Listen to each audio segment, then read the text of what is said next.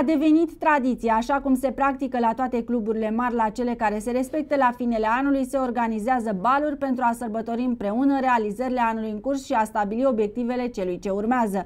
De mai bine de 10 ani, clubul FCM Târgoviște organizează un bal de sfârșit de an unde se reunește întregul lot al echipei, dar vin și mulți invitați. Sâmbătă seară la baza sportivă de la Șotânga, Roșu Albaști au încheiat anul sportiv, chiar dacă nu prea a fost unul cu reușite, însă ne-au declarat că își propun mari realizări în 2014. Primul rând mă bucur că ne-am păstrat acest obicei frumos pe care l-am avut uh, în fiecare an. Uh, cât despre anul sportiv 2013, uh, nu pot, nu pot să spun că a fost unul senzațional, antrenam pe un loc nu prea bun și sperăm că vom face mai bine la anul. Vom antrenam pe un loc mai, mai sus.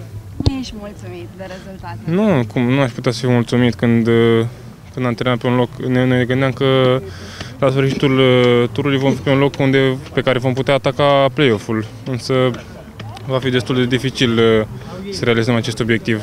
Ce le transmit? PCM Târgoviște a sărbătorit într-o atmosferă cu totul deosebită încheierea anului sportiv 2013, respectând tradiția la sfârșit de an, așa cum fac și marile cluburi, pomana porcului și multă voie bună. Uite, domnul Angelin, uitați aici. Bănesc cu gingivi. Luați de poftă, luați de poftă, dar e făiță sinceră, n-are niciun de pe Da, n E greu până de pe unul, pe urmă. Bă, nu l-ați de pentru mine, mă, nu l-ați de pentru mine. Ia! Aoleu, nu dați mă jos. Toată lumea ta e porți. Nu dați mă jos.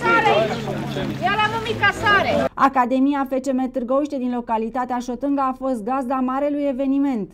Finanțatorul clubului Gheorghe Zotic a întreținut atmosfera de ceilalți reprezentanți ai stafului tehnic. Obiectivul nostru este să evităm retrogradarea.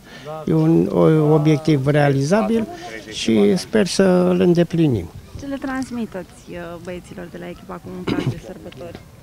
Eu le transmit să rămână în kilogramele optime, să nu facă acumulări, acumulările să fie făcute la primăvară, transformate în puncte, puncte vitale și le doresc multă, multă sănătate, multă înțelepciune și multe împliniri.